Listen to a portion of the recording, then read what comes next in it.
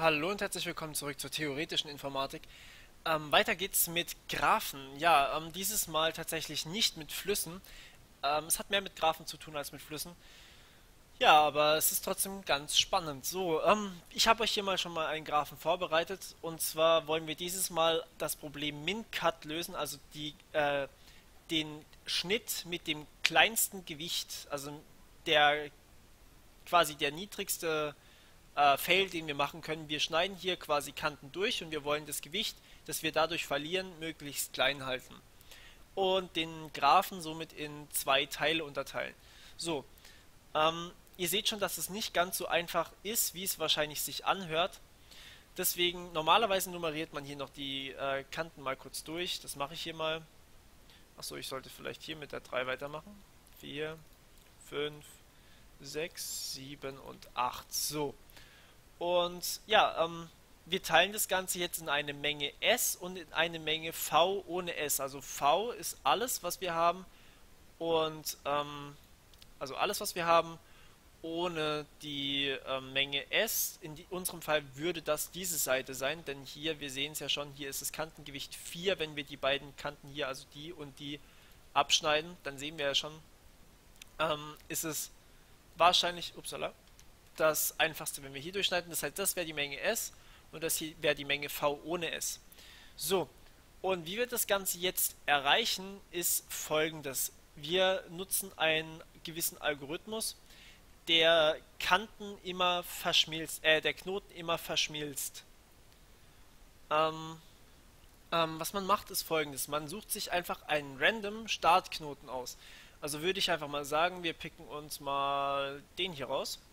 So, und ähm, ja, jetzt sagen wir, okay, der Knoten, der am stärksten mit diesem Knoten hier verbunden ist, also äh, bitte stellt euch die ganzen ähm, Kanten hier als ungerichtet vor, also die sind beidseitig, denkt euch einfach die Pfeilspitzen weg.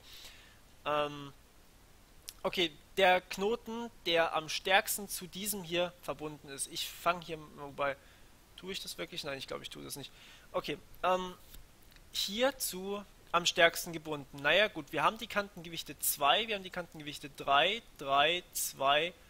Okay, das heißt, wir können einfach irgendeinen nehmen. Wir nehmen den hier mit 3. So, jetzt haben wir schon die beiden Knoten.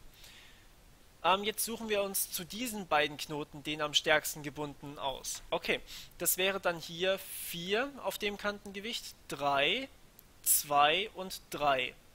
Okay, dann suchen wir uns logischerweise den hier mit 4 aus. Naja gut, was machen wir jetzt? Entweder der hier mit 4, der hier mit 2, der mit 3 oder der mit 2 oder aber der hier unten mit 3 plus 2, denn hier ist der Knoten mit der 4 verbunden und mit der 3, das heißt 3 plus 2, hier sind wir bei 5. Okay, das heißt wir nehmen den hier dazu. Äh, und das ist nicht cool.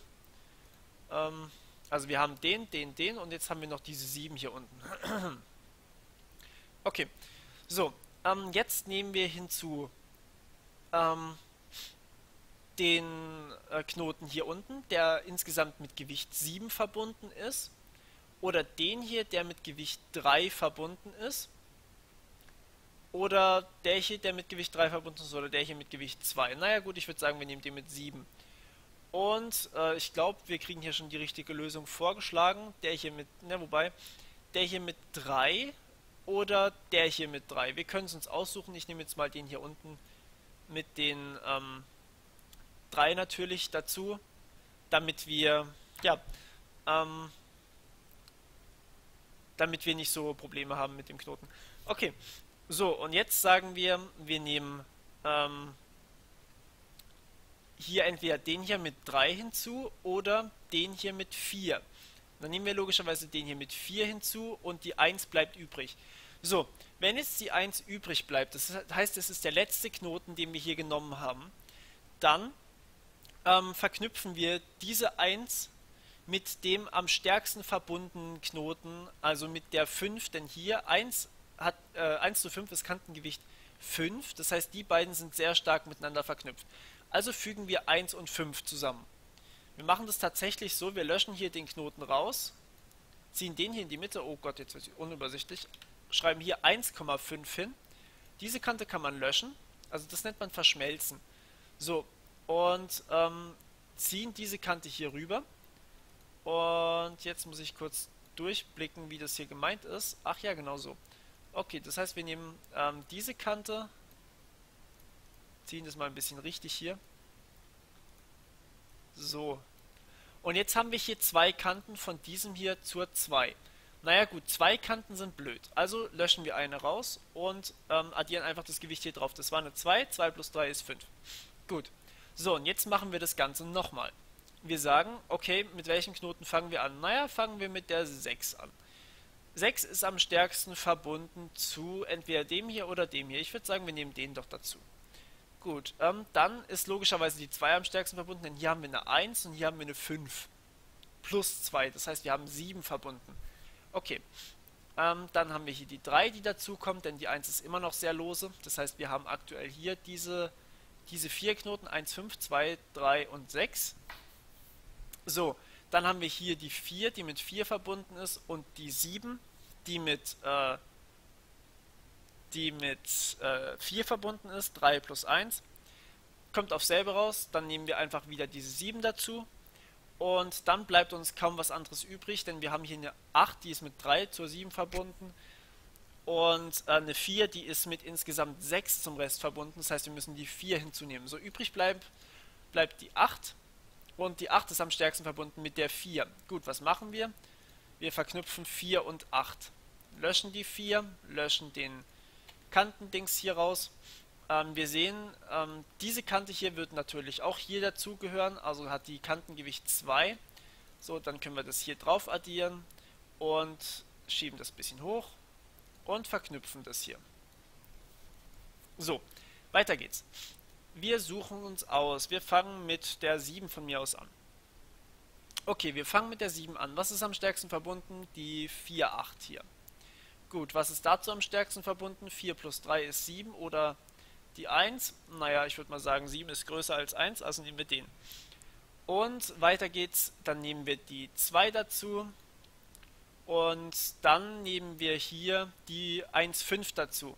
Übrig bleibt die 6. ja, tatsächlich die 6, denn 5 ist größer als 2 plus 1. Also, ähm, bleibt die 6 übrig. Die 6, naja gut, zu was ist die am stärksten verbunden? Wir könnten jetzt entweder die 2 nehmen oder wir könnten die 1,5 nehmen. Das ist eigentlich egal, wie man das jetzt macht. Ich sage einfach mal, wir nehmen hier die hier, die ist schön am Rand, da können wir gut damit zeichnen. Okay, wir löschen den Knoten, löschen das Kantengewicht dazwischen und ähm, ja, die beiden, äh, also die hier, die 2 und die 5, die addieren sich wieder, da kommt dann 7 bei raus. Dann können wir das Kantengewicht hier löschen und diese 1 bleibt bestehen und geht hier rüber. So. Und ähm, dann haben wir die, ähm, fangen wir mit der 3 an, damit es spannend bleibt.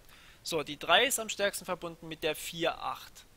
Die 4, 8 und die 3 sind logischerweise dann am stärksten verbunden mit der 7 und dann haben wir hier 1 und hier haben wir 3. Naja gut, die 3 ist deutlich stärker.